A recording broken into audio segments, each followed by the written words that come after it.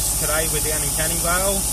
Love to show you what we're doing. We're pumping in beads into a cavity wall, the cavity shield product that I've been talking all about, everyone's talking about. So here you can actually see it being done. Here's the remote control. Here's the feeder pipe. And if we can get a bit of a close up in there, you'll see the beads all being filled.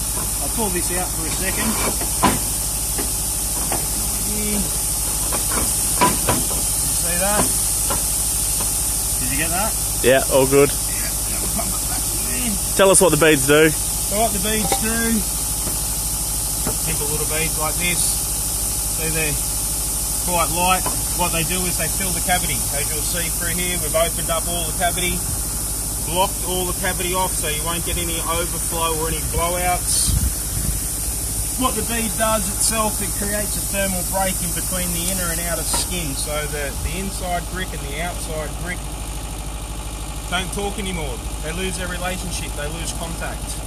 So the outside brick can get as hot and crazy or cold and crazy as it wants, where the inside brick is going to be a regulated regulated temperature ambient to what your home temperature you set at.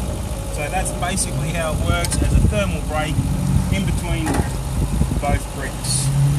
What's the actual cavity shield made out of, Michael? It's a polystyrene bead, uh, very common, commonly used in the uh, building industry today. Um, some of the big names use it for their uh, lightweight second story extensions.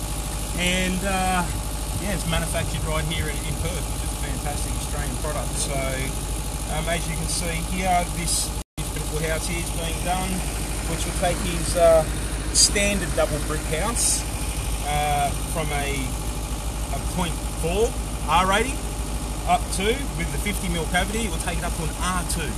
R2. So equivalent, let's just have a look at the little bit of insulation that he's already got in the roof. That's probably the equivalent in an R2 as well for a back.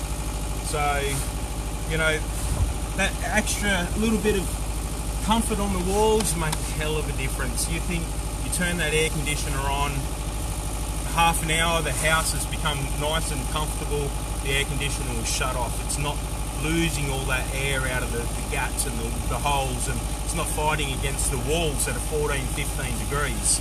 The temperature's going to be up closer to what you set it to be. So it's starting to rain. I need to keep moving. Nice talking to you.